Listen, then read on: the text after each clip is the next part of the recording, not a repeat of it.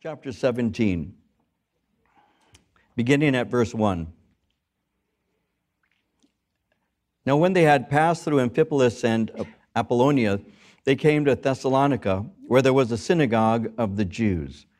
Then Paul, as his custom was, went in to them and for three Sabbaths reasoned with them from the scriptures, explaining and demonstrating that the Christ had to suffer and rise again from the dead, and saying, This Jesus whom I preach to you is the Christ, is Messiah. And some of them were persuaded, and a great multitude of the devout Greeks, and not a few of the leading women joined Paul and Silas. But the Jews who were not persuaded, becoming envious, took some of the evil men from the marketplace, and gathering a mob, set all the city in an uproar and attacked the house of Jason and sought to bring them out to the people. But when they did not find them, they dragged Jason and some brethren to the rulers of the city, crying out, These who have turned the world upside down have come here too. Jason has harbored them, and these are all acting contrary to the decrees of Caesar, saying, There is another king, Jesus. And they troubled the crowd and the rulers of the city when they heard these things. So when they had taken security from Jason and the rest, they let them go. Then the brethren immediately sent Paul and Silas away by night to Berea. When they arrived, they went to the synagogue of the Jews. These were more fair minded than those in Thessalonica, in that they received the word with all readiness and searched the scriptures daily to find out whether these things were so. Therefore, many of them believed, and also not a few of the Greeks, prominent women as well as men. We'll stop right there and begin our study. Now, remember that when the Lord Jesus Christ was ministering to his disciples, Jesus gave what is called, commonly referred to as the Great Commission. Now, very often when you think of the Great Commission, you think of Matthew chapter 28, especially verses 18 through 20, but this Great Commission is actually repeated not only in, in Mark, but it's also found in Luke, and there's a portion of a commission found in the Gospel of John, as well as the book of Acts. So, this is something that actually has different facets. But one of the things concerning the Great Commission, very simply put, is that Jesus taught his disciples to take the gospel throughout the world. In Mark 16, verse 15, he said it like this He said, Go into all the world and preach the gospel to every creature.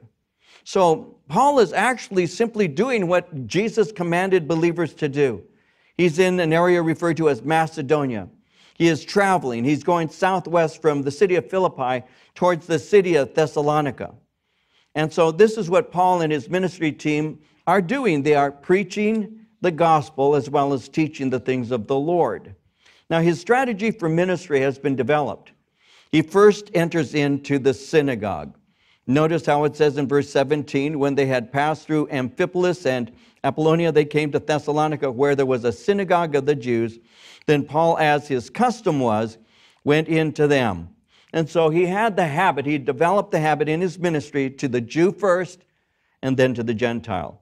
You see this already developing as a pattern in chapter 9 of the book of Acts, verse 20, where it says that once he began to preach in the synagogues that Jesus is the Son of God. You saw it in Acts 13, verse 5, where it says, When they arrived in Salamis, they proclaimed the word of God in the synagogues. And again in chapter 14, verse 1, at Iconium, Paul and Barnabas went as usual into the Jewish synagogue. And so Paul would go, as his manner was, to the Jew first and then to the Gentile.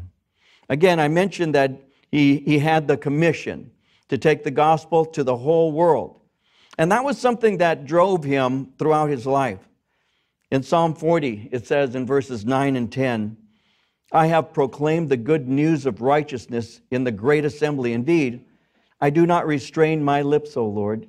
You yourself know. I have not hidden your righteousness within my heart. I have declared your faithfulness and your salvation. I have not concealed your loving kindness and your truth from the great assembly. So there was this, there was this directive, this command to take the gospel out. In Romans 15, verse 20, he said it like this He said, I made it my aim to preach the gospel, not where Christ was named, lest I should build on another man's foundation. I'm taking the word of God out and I'm proclaiming it. And I want to make sure that people hear it, need to hear it, and especially those who've never heard it before. And so he had a commission to take the gospel to the whole world, but he also had a desire to preach the word of God to the nation of Israel. Remember, Jesus said, You shall receive power. After that, the Holy Spirit has come upon you. You shall be my witnesses in Jerusalem, Judea. So he began with Israel, Samaria, and unto the uttermost parts of the earth. So, as a Jew, Paul had a special burden for the nation of Israel. In Romans 9, 2 through 4, he said it like this He said, I have great sorrow and unceasing anguish in my heart, for I could wish that I myself were cursed and cut off from Christ for the sake of my brothers, those of my own race, the people of Israel. I would give up my salvation so that they might be saved. I could never say that, but Paul did. Now he's going in his ministry, notice verse 1 again and he comes to a place called Thessalonica. Thessalonica was a major city. It was what was called a chief seaport in a region called Macedonia in northern Greece.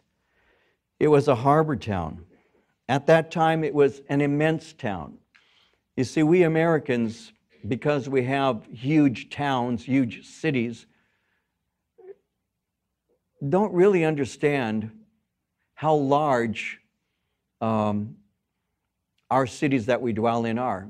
Now, there are those, of course, who live in small village type places. I was speaking to somebody just yesterday who was telling me that this particular town they were referring to had 2,500 population and, and all. And there are, of course, many, many towns and villages in the United States with small populations.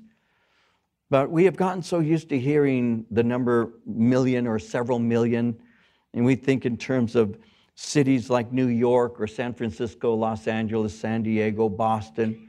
These are port cities. And they're, they're cities that have multi millions in populations. But during the time of Paul, the city of Thessalonica had 200,000. And that was huge by ancient standards. And the city being filled with so many people coming and going, so many travelers and all, was like so many other cities that we see even to this day. It was filled with corruption, it was filled with sin. It was a very difficult place to minister in. And so Paul was there in Thessalonica. He's going to be doing a work there. Ultimately, as we'll see, a church is planted. And then Paul later on is going to be writing to the Thessalonians as, as we look at this, the city has uh, citizens, and the citizens of the city are terribly opposed to Christians. It also has a rigidly religious Jewish population, and we're going to see that how, how they are very opposed to the message of the gospel. And so, as he's there in the synagogue, according to verse 1, verse 2 tells us, as it was his custom, he went in and for three Sabbaths reasoned with them. Notice, reasoned with them from the scriptures, explaining and demonstrating that the Christ, the Messiah, had to suffer and rise again from the dead, and saying, This Jesus whom I preach to you is the Christ, is Messiah. Christ is the anointed one. Mashiach in Hebrew is the anointed one. And so the word Christ is simply the Greek uh, version of the word Messiah. And so he's speaking concerning that, but I want to point a couple things out. Notice how it says here that he reasoned with them. When it says that he reasoned, the word reasoned means to argue, it means to discuss, to dialogue, even to dispute. And that's what he was doing. He was entering in, bringing this gospel message, discussing with the people disputing with the people and using the Old Testament to point them to Messiah. And so these passages that we're looking at reveal Jesus to the people and what God uses to save people because he didn't go in there and sing a song to them. He went in there and reasoned with them according to the scriptures. I happen to be one who I love worship. I love to sing songs to the Lord, as many of us in this room do. I love it. I love worshiping the Lord in song. And, and I get thrilled. My heart gets really really moved by personal testimonies, testimonies of the grace and power of God. And when I hear somebody tell the story of how God reached down and touched them, it, it, it thrills my heart tremendously. This upcoming Sunday, we're going to have on Sunday morning service uh, Dustin, who just returned from um, Costa Rica on a mission t- uh, trip with uh, our kids and some of the adults who just wanted to go to Costa Rica. Uh, no, no, I'm just kidding. Um, he's going to share um, one of the stories he told me just yesterday. I'm not going to tell you it right now. I'm not even going to hint to it, but I am going to tell you this. Anyway, it's good, and I was really, I was really blessed, really blessed, and you'll see what I mean. But I love to hear personal testimonies. I do. I, I love to hear how I was once lost and now I'm found. I think that's great. But music and personal testimonies alone do not save people. We need to remember that. What saves people? The Word of God. It's the Word of God that God uses to transform people and to save people. In John 6, verse 63, Jesus said, It is the Spirit who gives life, the flesh profits nothing. The words that I speak to you are spirit and they are life. In Romans 1:16, I'm not ashamed of the gospel of Christ, for it is the power of God to salvation for everyone who believes, for the Jew first and also for the Greek. And so Paul is carefully examining and explaining the word of God to them. Again, verse 2, he is reasoning that reasoning not only refers to disputing, but it also means to field questions. As he's dialoguing, he's presenting to them the claims of Jesus Christ. Well, as this is taking place, verse 4 some of them were persuaded, and a great multitude of the devout Greeks and not a few of the leading women joined Paul and Silas. And so Gentiles and, and women are open to the message and they were persuaded. The word persuaded simply speaks of them being convinced. The word persuade means to induce someone by words to believe. So persuading can also be referring to what we today refer to as the, the ministry of apologetics, the, the explanation and presentation of truth so that people can hear, and the Spirit will use those things to convince and draw people to a saving knowledge of Jesus Christ. And so that's what he's doing.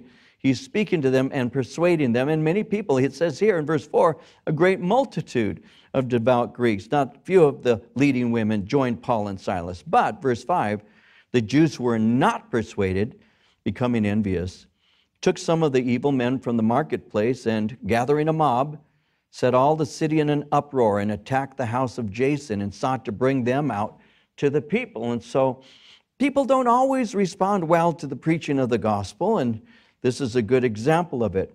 Now, when it says the Jews who were not persuaded, that speaks of a willful rejection. It, it literally speaks of not allowing yourself to be persuaded. It's, it's willfully, though you see the logic and you see everything that relates to it, you still will not allow yourself to be persuaded in that fashion.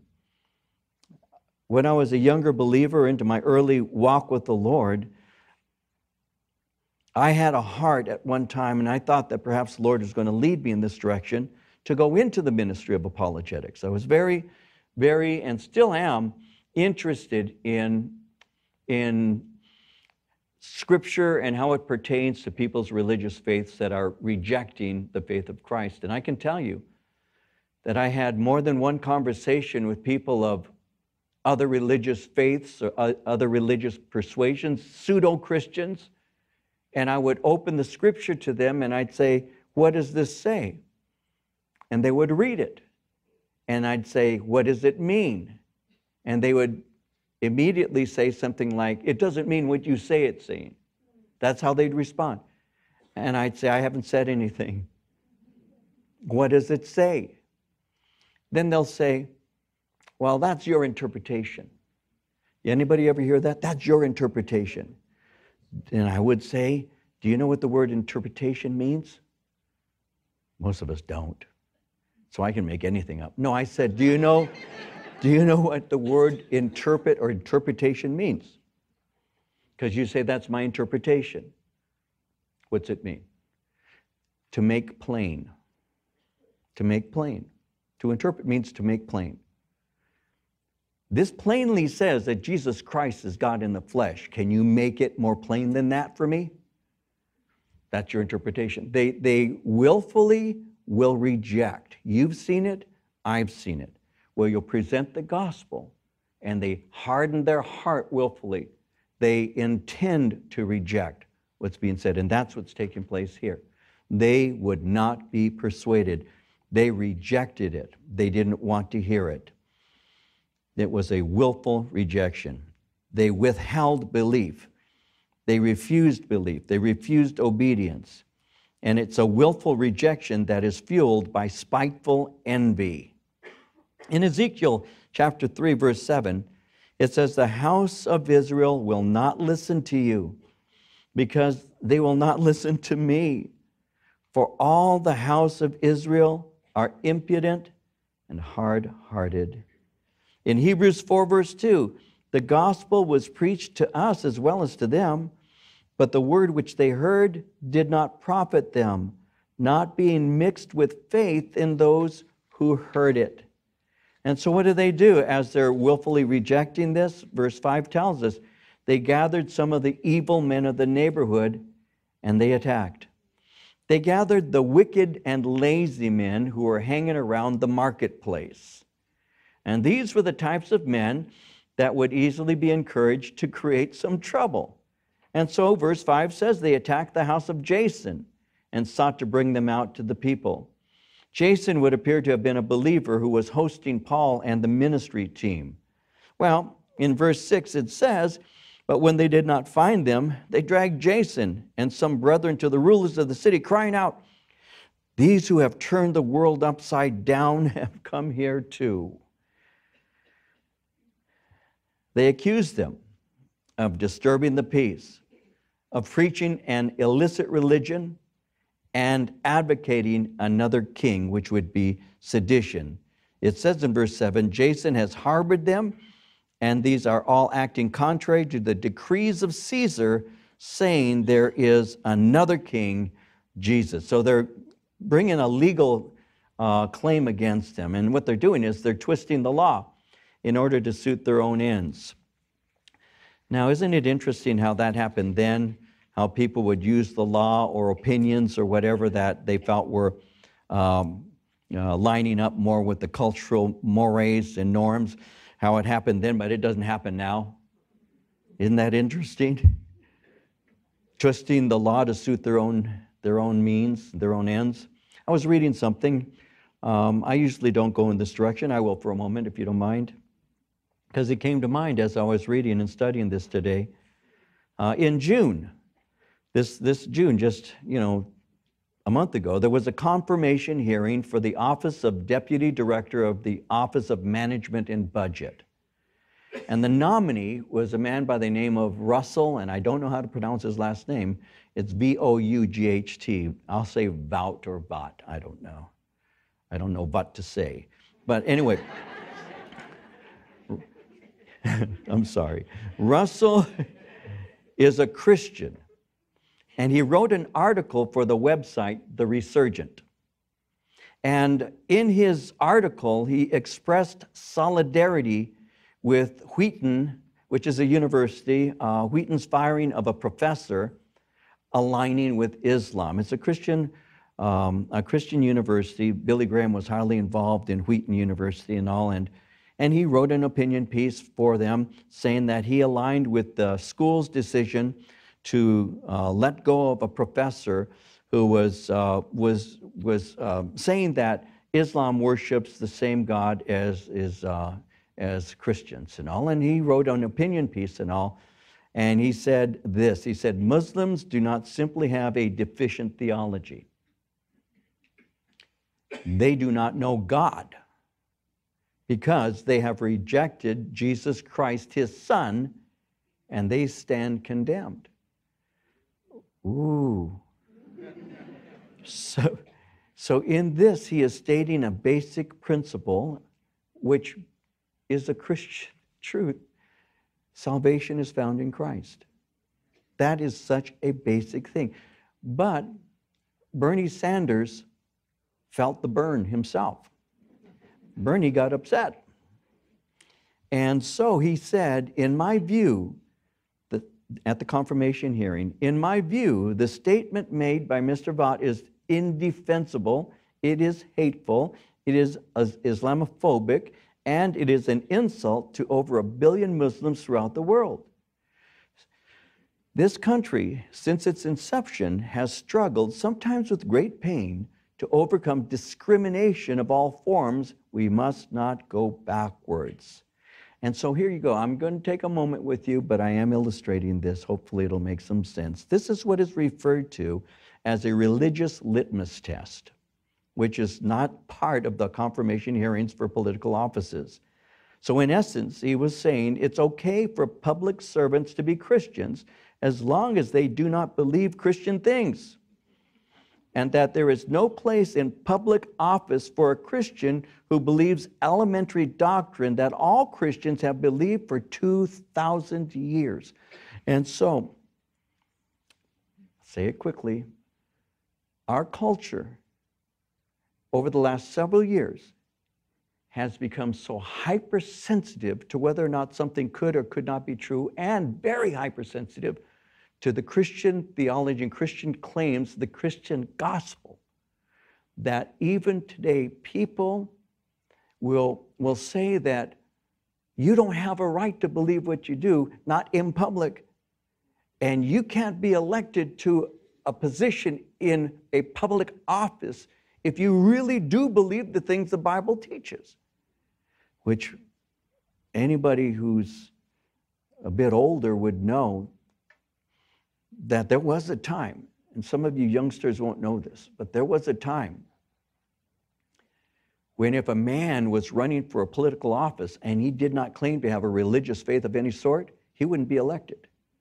He wouldn't be elected because people did not trust a person who had no faith. America wouldn't. They would not elect them. Today, because of the educational system that is so quote unquote progressive, Christ, you, can, you can believe almost anything. You can believe that God is a kumquat if you want.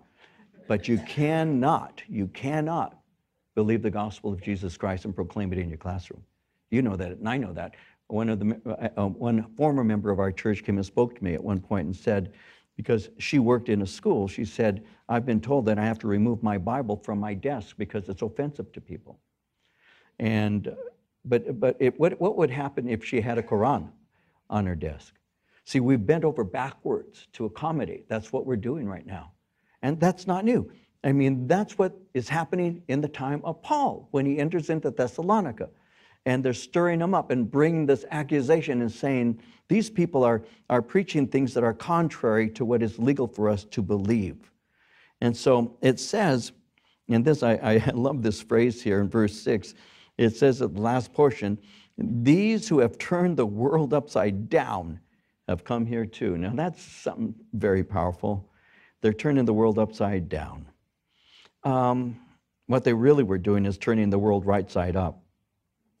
And they were doing that by the Spirit of God and the Word of God. And would to God that that charge could be leveled once again at the church. These people are turning the world upside down. Well, they had gone to find uh, find the apostles and the ministry team. They couldn't, so they dragged Jason and some brethren before the magistrates and all.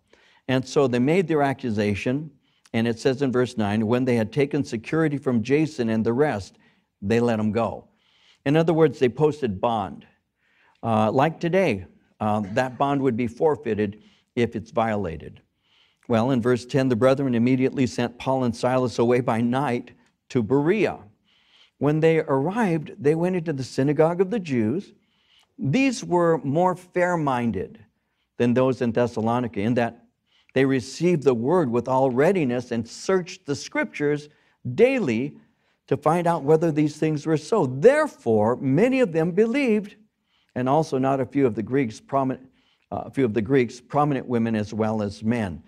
And so, many believed, and I want you to notice that because the scriptures validated the message.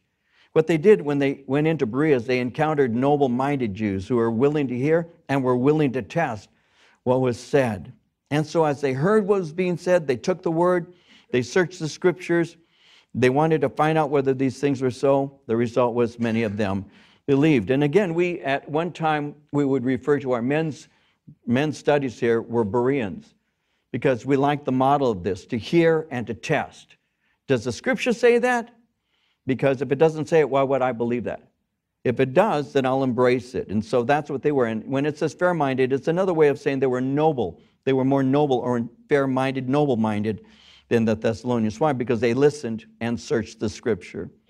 Verse 13, but when the Jews from Thessalonica learned that the word of God was preached by Paul at Berea, they came there also and stirred up the crowds. Then immediately the brethren sent Paul away to go to the sea. But both Silas and Timothy remained there. So those who conducted Paul brought him to Athens, and receiving a command for Silas and Timothy to come to him with all speed, they departed. So, driven by envy, the enemies of the gospel are pursuing Paul in order to cause more problems. The, the response was that the brethren sent Paul away to go to the sea, but Ty, uh, si, uh, Silas and Timothy remained. So, to protect Paul from further danger, off he goes to the city of Athens. Now, what happens when Paul is there by himself waiting? I love this. Here we go. I love it. Now, while Paul was there drinking a cappuccino, no, it says, well, while Paul waited for them at Athens, you have to picture that this amazing city, intellectual center. Paul is there, this small Jewish man. By historic records, there are no biblical descriptions of Paul, though he alludes to some things of himself that have caused some of the early descriptions of Paul to seem to be justified because early church writings, when speaking of Paul, the apostle, I don't know what you picture Paul like. You may picture Paul as a kind of like a husky um, Rambo, you know. Um, but but he, when descriptions, when you read descriptions of Paul, they say he he had a large nose, he he had uh, his had a back that had a bit of a bulge that he was very short. He had spindly legs. Uh, his eyes were bulging and um, not a very attractive picture. When you read some of his comments, like to the Galatians, he said to the Galatians, I bear witness that you would have given me your own eyes if you'd have been able. That gives us some insight that there was something wrong with his eyes. Because he says it, you'd have given me your own eyes if you could have. When you read Second Corinthians and you start seeing the things they say about him, he is weak, he is lowly. They're given to us a picture of the Apostle Paul. So you have to picture this man. He was small. He could have looked a bit frail. He certainly didn't look healthy. And there he is in this magnificent city called Athens, the intellectual center. And instead of becoming a tourist, taking selfies of himself in different places, what he does is he gets stirred. Notice it says, while Paul waited for them at Athens, his spirit was provoked within him when he saw that the city was given over to idols. Therefore, he reasoned in the synagogue with the Jews and with the Gentile worshippers and in the marketplace daily with those who happen to be there. So that is the heart of ministry when your heart is stirred by the lost condition of people. By the way, that is somewhat unusual today. People think that Christians, it's okay again for you to believe what you believe, but just kind of keep it to yourself. And please don't go over the top with this. If you want to believe, that's fine. But, but don't bother grandma. And, and don't tell your dad. And, and why are you causing disruption in family circles when we're having Thanksgiving and you want to pray? I had somebody upset at me. This is true. Somebody upset at me because they came to a wedding here and they thought it was too religious. uh, we're living in odd times. Odd times.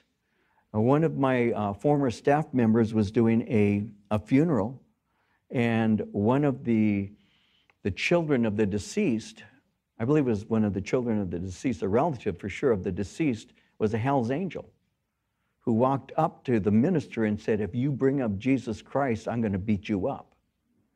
And that, at that moment, I said to myself, I'm glad it's you and not me.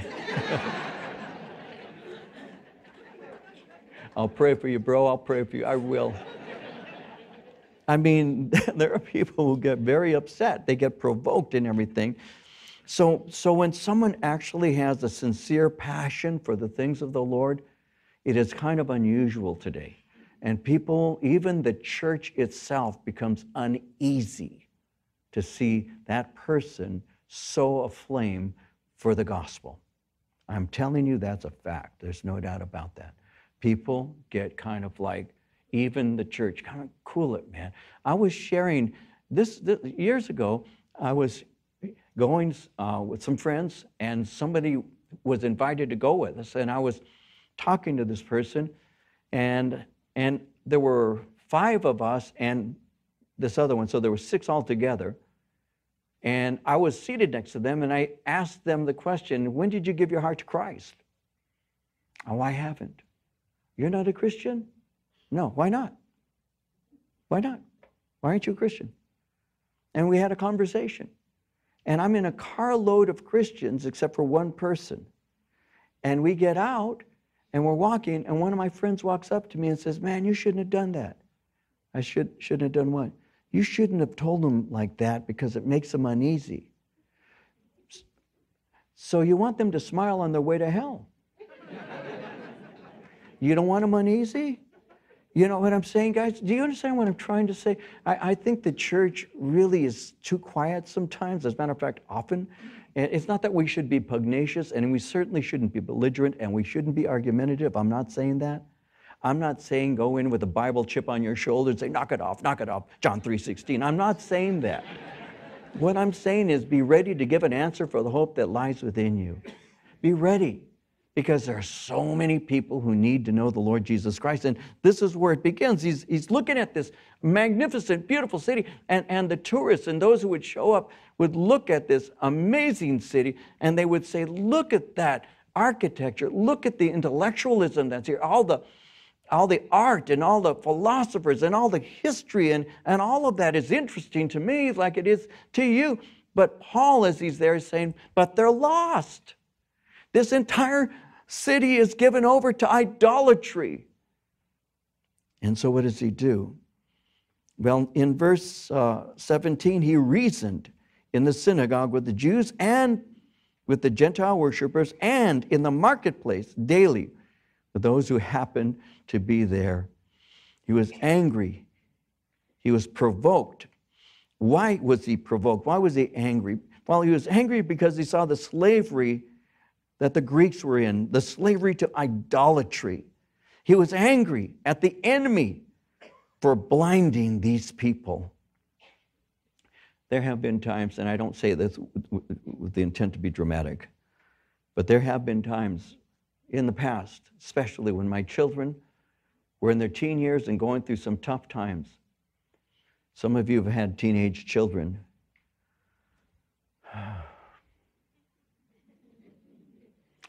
Um, and I have literally, I have literally been on my face before the Lord in my bedroom. And I have literally been praying for my kids, and I have said out loud to the enemy, to be honest with you, I don't pray to the enemy, but I have spoken to him. And I said, You can't have them. They don't belong to you. They belong to Jesus Christ. You cannot have them. And, and that's, that's the provoke. You have that. You, you know what I'm saying? I don't say that to be dramatic. I say that truthfully. You can't have them. I will not let them go. You cannot have them because your heart is provoked and you don't want them to be lost. So you pray. And so Paul is there. His spirit is provoked within him when he saw the city was given over to idols. Therefore, he reasoned. He wanted them to know the gospel. While as this is taking place, verse 18, certain Epicurean and Stoic philosophers encountered him, and some said, What does this babbler want to say? Others said, He seems to be a proclaimer of foreign gods because he preached to them Jesus and the resurrection. So he's in what is called the agora, the marketplace. And he now encounters these Greek intellectual elites. The Epicureans are mentioned as well as the Stoics. Epicureans were, were materialists. They, they taught the avoidance of pain and the pursuit of pleasure. Uh, the Stoics uh, believed that mastery of self is the greatest virtue and indifference to pain and pleasure is to be sought. We still use the term Epicurean and Stoic. You'll speak of an Epicurean as a person who likes to eat fine foods and all. You'll speak about a person who's Stoic, meaning that he persists even against opposition. He's going to make it. And those words are still within our vocabulary. Well, this is the response of these uh, intellectuals. They speak of him as a babbler. Now, that's interesting. That's an insult. What does this babbler want to say?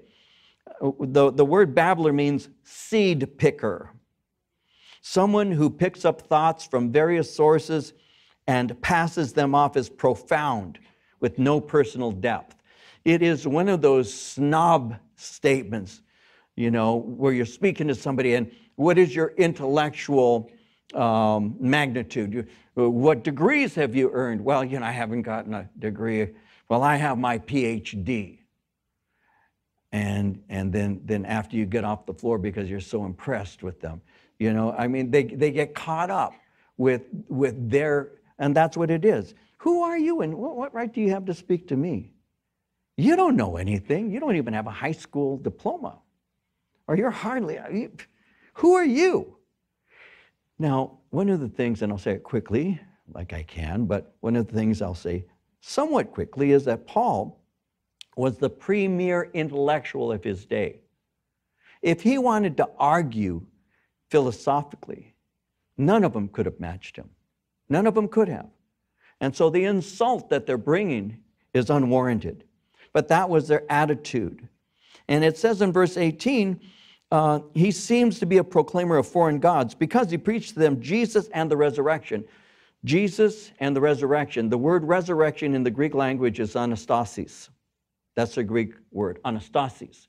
What they thought is that he was preaching two different gods, Jesus and anastasis. And so they thought that Jesus Christ was uh, preaching a, uh, a goddess. And so, as this is going on, verse 19, they took him and brought him to the Areopagus, saying, May we know what this new doctrine is of which you speak? That's the Areopagus is in what is called Mars Hill. For you are bringing some strange things to our ears. Therefore, we want to know what these things mean. Notice verse 21 For all the Athenians and the foreigners who were there spent their time in nothing else but either to tell or to hear some new thing. Boy, is that common to this day. Now, they went to the Areopagus. The Areopagus is where the wisest of the population actually made various kinds of judgments. It was like a court. And uh, that's what they did. They want to hear these things. they say, because these are strange things. And we want to know what they mean. But the verse that I, I find fascinating in a way is verse 21 when it says, All the Athenians and the foreigners who were there spent their time in nothing else but either to tell or to hear some new thing. They wanted to hear something new, which is, is certainly the, the intellectual bent of many today. If it's novel, it must be true. If I've never heard it before, it must have depth. And they, they were those who liked to tell or hear something that was new. That made them broad in their knowledge but shallow in understanding. Uh, Paul speaks in 2 Timothy 3, verse 7, of those who are always learning and never coming to a knowledge of the truth, always accumulating information, but never settling on anything specifically. And there are people to this day who like to hear some new thing because they like to quote this new author. They like to speak of this new subject. and they get thrilled by it. Now, there's nothing wrong with a con- continual education. There's nothing wrong with reading, and I think it's great, of course, and, and pursuing a good education in, in, in, a, in a college that won't make it their aim to destroy your faith is, is, is nothing wrong with that either. Of course, I'm not saying that. But there is a bent that some people have that they want to hear the newest and the latest because if they have the newest and latest, then they're able to present it as if they're very deep. And a lot of people are very, very broad in their knowledge. They can speak about a lot of things, but they are shallow in their understanding. They don't have a depth to them at all because they're so busy accumulating information that they never really think things through. Psalm 119, verse 99 says it like this I have more understanding than all my teachers, for your testimonies are my meditation. If you want to have true knowledge, it comes through the Word of God. So, Paul gets his opportunity, verse 22. Paul stood in the midst of the Areopagus and said, Men of Athens, I perceive that in all things you are very religious. For as I was passing through and considering the objects of your worship, I even found an altar with this inscription to the unknown God. Therefore, the one whom you worship without knowing, him I proclaim to you.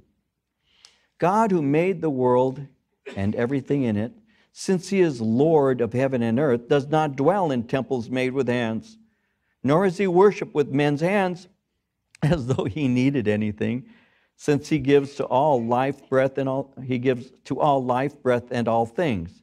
And he has made from one blood every nation of men to dwell on all the face of the earth, and has determined their pre-appointed times and the boundaries of their dwellings, so that they should seek the Lord in the hope that he that they might grope for him and find him though he is not far from each of us, each one of us. For in him we live and move and have our being. As also some of your own poets have said, for we are also his offspring. Therefore, since we are the offspring of God, we ought not to think that the divine nature is like gold or silver or stone, something shaped by art or man's devising. Truly, these, th- these times of ignorance God overlooked, but now commands all men everywhere to repent because he has appointed a day on which he will judge the world in righteousness by the man whom he has ordained. He has given assurance of this to all by raising him from the dead. when they heard the resurrection of the dead, some mocked, while others said, We'll hear you again on this matter. So Paul departed from among them. However, some men joined him and believed, among them Dionysius the Areopagite, a woman named Damaris, and others with them. So let's touch on this for a moment here. What is he doing? Well, first he points out their superstition. He's giving the gospel, if you will, or portions of it at least that are recorded for us, to the Athenian intellectuals. But keep in mind what he had said to the Corinthians in 1 Corinthians 1:26 when he said, "Brothers, think of what you were when you were called. Not many of you were wise by human standards, not many were influential, not many were of noble birth." The gospel of Jesus Christ from the very beginning has always been better received by what the scripture would refer to as the common people the down to earth people with dirt under their fingernails people, just the blue collar, to be honest with you.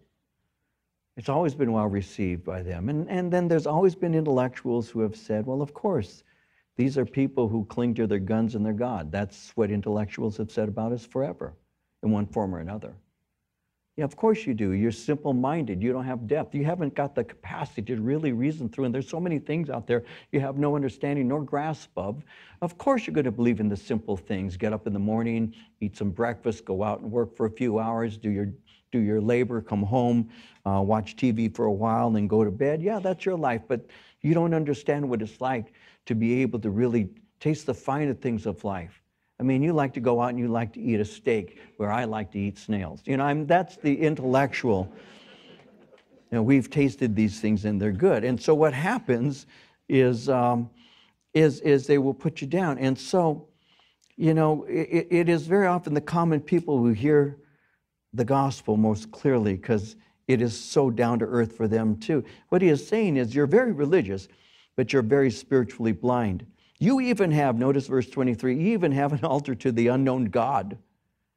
You, you have various altars up here, and worship and all is, occurs here, but you put one to the unknown God in case uh, you forgot, one was forgotten. And uh, this God that you have put, in case we forgot this one, this is the God that you worship without knowing. This is the God that I've come to explain to you. You see, the God who made the world and everything in it is, in it is the Lord of heaven and earth. And so, what he's doing here as he's speaking, this is a very basic tactic in proclaiming the gospel, is he's calling their attention to creation. He's saying that there, the fact that there is a God can be known. He's a creator but he is not contained by his creation. He's saying he is above it, he is not part of it.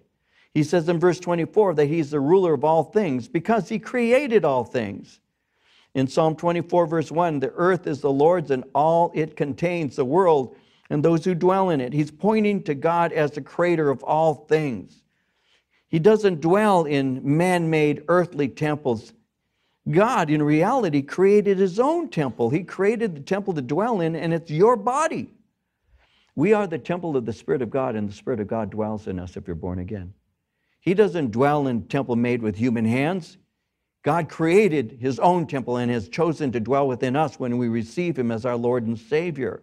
In verse 25, he isn't worshiped with men's hands as though he needed anything, because he's the one who gives, and he needs nothing from us. In Job 41 11, who has preceded me that I should pay him? Everything under heaven is mine. In 1 Corinthians 10 26, it says, The earth is the Lord's and all its fullness. Now, he's just giving an argument from conscience and creation. The fact that you know there's a right and know there's a wrong is one of the ways that you can know that there's a God who established what is right and what is wrong you can go to anywhere. And, and I'll say it this way I was, I was in a cultural anthropology class at Cal State Fullerton when I was a young man. And the professor of the cultural anthropology class was an atheist.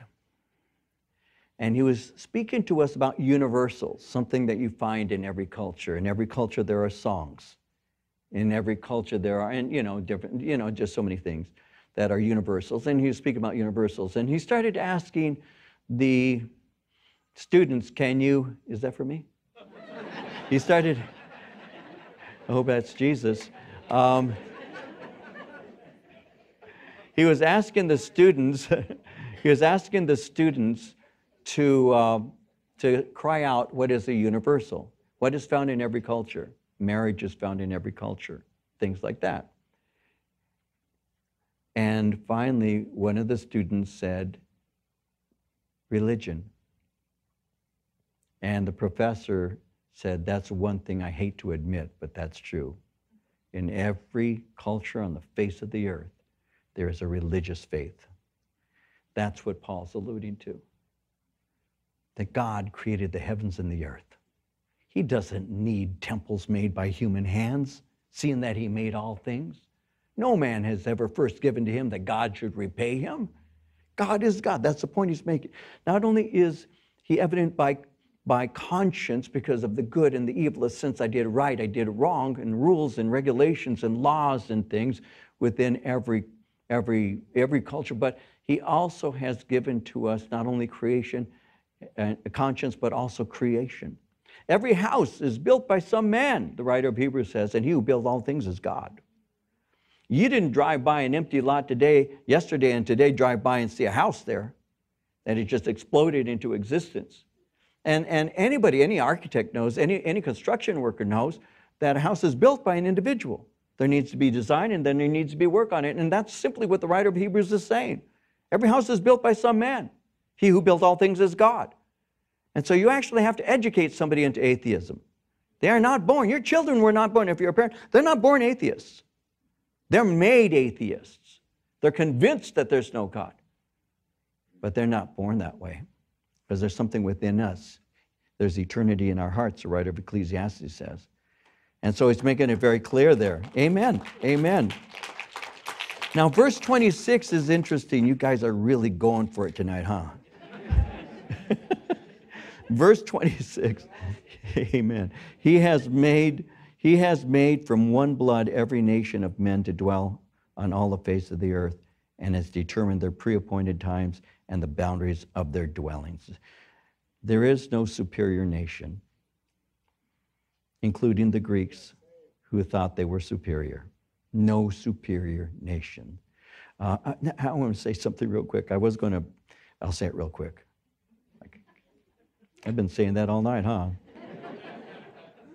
He has made from one blood every nation of men. You know, my wife gave me as a present a DNA test. Thought was kind of cool. What is my DNA makeup, right? Um, I'm a human being, right? Um, well, let me, I want to say this real quickly. Um, 7% Irish. Interesting. Top of the morning to you. 1% Nigerian. I like Motown. and 5% um, from the Caucasus region, which lends itself all the way into the Middle East. 36% Spanish, 39% Native American. And why, why am I telling you that? I'm fascinated with that. But so, which one of those people groups do I love the most? How can you? How can you love one more than the other when you're made up of so many different? So are you. So are us. All of us are. Hey, 1% Micronesian, Hawaiian, hang loose. I mean, no wonder I like aloha shirts. I, I mean, what I'm saying, what I'm saying is, you know, one of the biggest problems we have today, and you know this, I'm just saying it briefly, is we forget we belong to each other. We forget that. We have to be careful with this because we can become those who are proud of this and I reject you for you're not this. Be careful. Be careful. My grandchildren, my, my, my Corinne, um, the, my babies, uh, Josiah and my two girls, Sophie and Stella, Scottish, English, and then Mexican, Cuban. Marie's Cuban, you know. No wonder she likes those cigars. And um, she is Cuban. Uh, my, my, uh, my, my David's babies, um, uh, Nicaraguan, uh, Puerto Rican, Mexican. My, my Anna's baby, Puerto Rican, Mexican. Which one do I love most? And which part of them do I love the most? Or don't I just love them? And can't we just love each other? Can't we just love each other without looking at other things? Can't we see Christ in each other? Can't we see the body of Christ? Can't we see that? That's really where it's at. That's amen. That's that's that's where it's at. We, that's what Christianity is. And so this is a powerful verse here. He has made from one blood every nation. Adam and Eve, all of us are are descended. And that's the point. So, what do we do? So that we may seek the Lord, verses 27 through 29. See, creation should cause people to seek the Creator. And he points out your own poet, your own poets have recognized this to be so.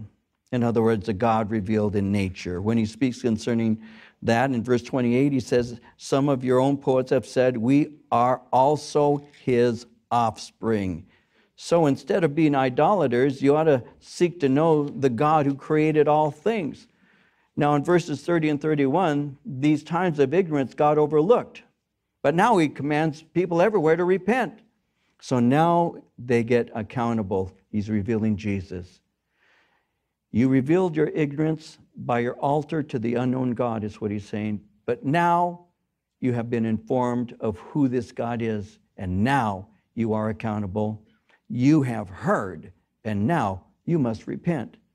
Now, as he concludes, he emphasizes the resurrection from the dead, and for them, you went too far. This is intellectually stumbling. It's like what he said in 1 Corinthians 1 22 through 24 Jews request a sign, Greeks seek after wisdom, but we preach Christ crucified. To the Jews, a stumbling block, to the Greeks, foolishness, but to those who are called, both Jews and Greeks, Christ, the power of God and the wisdom of God. Now, when they speak concerning that, he speaks concerning that and says, God has appointed a day in which he will judge the world through this man who he raised from the dead. Finally, verse 32 when they heard the resurrection of the dead, some mocked, others said, We'll hear you again on this matter. Paul departed from among them. However, some men joined him and believed, among them Dionysius the Areopagite which means that he was member of the judges up there in the Areopagus, a very esteemed man, and a woman named Damaris and others with them. There was what we would call a small response. Well, perhaps he learned something because he said this, and I'll close with this 1 Corinthians 2 1 and 2, because he goes to Corinth right after, after he's leaving uh, Athens. He's going to go to Corinth. And in 1 Corinthians 2 1 and 2, he said this Brethren, when I came to you, did not come with excellence of speech or wisdom, declaring to you the testimony of God. For I determined not to know anything among you except Jesus Christ and Him crucified. Here's the last thought. And commentators or commentators who are in agreement with this, and that is this. I want you to on your own. You may want to do this a second time. Read his message. I don't know that that's all he said. This is what we have contained in Scripture. But here, you didn't see the cross of Christ. You didn't see the message of repentance in a true, deeply developed fashion. You didn't see that.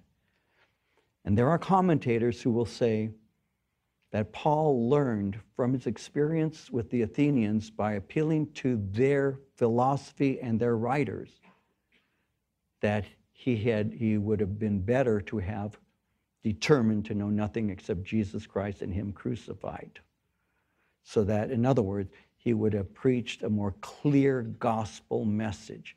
And I can say it like this I can say there have been times when I have, especially when I was a young college student, when I have gotten into conversations with people and I've quoted some of the things that I was learning and I didn't quote scripture and my presentation of why it's reasonable to believe in God fell flat.